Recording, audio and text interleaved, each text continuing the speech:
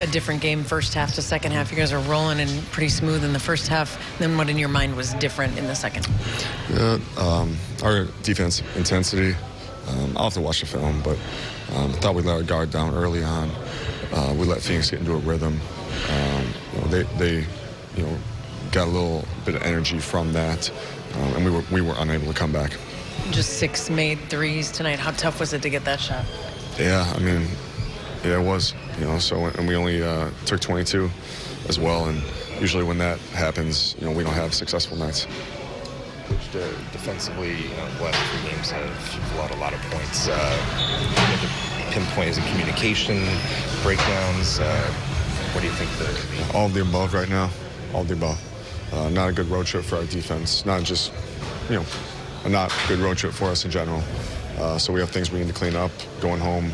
Um, you know, we'll have challenges, uh, but opportunities. for for you guys? Like you said, not a good road trip overall. What do you? What's the message in there after after a game like this? And, and do you kind of just let it cool off, or how do you? What do you? We'll make sure you communicate with, with everyone. Uh, let people communicate too um, amongst the group. You know, that's what family does. They talk through when, you know, things aren't aren't the way you'd like them to be. And what I mean by that is, you know, win column, you know, we didn't get a win on this road trip. So you want to talk through what went, what went- wrong, um, you know, while it's fresh in guys' minds.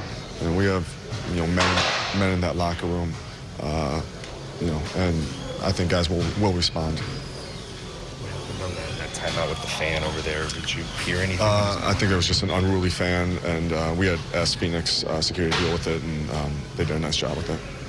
Third quarter, you guys, you guys were really even with them the full first half. Third quarter comes out, seven turnovers. You only had six in the whole first Yeah. half. I think you missed two, like made two of the first ten shots, something like that, and that's seemed to Yeah. where the game went. Yeah, it did. It did. It, um, it turned quickly. Uh, we know this is a good team uh, scoring off turnovers.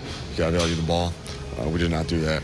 Um, you know, so that that did not help us. How do you kind of manage the emotions? You mentioned you mentioned you know talking things over what went wrong. You know there were times tonight where it seemed like guys were getting frustrated with each other uh, on the court. How do you manage those emotions without them getting out of control?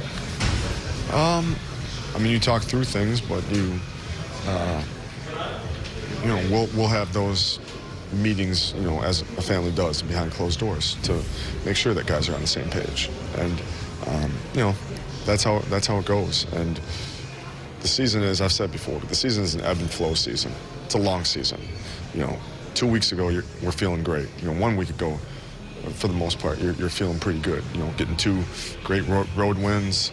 Um, you got practice days. I mean, things change quickly, and um, but we got to make them change.